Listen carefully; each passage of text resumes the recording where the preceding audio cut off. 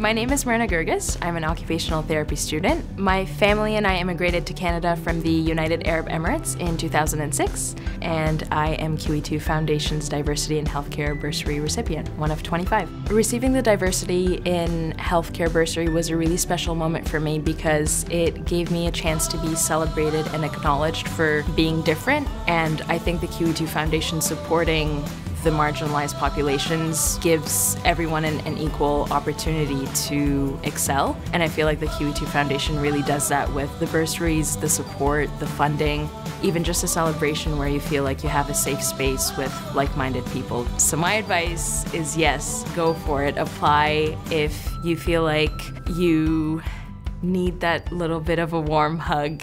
That is what the Diversity Healthcare Bursary can give you.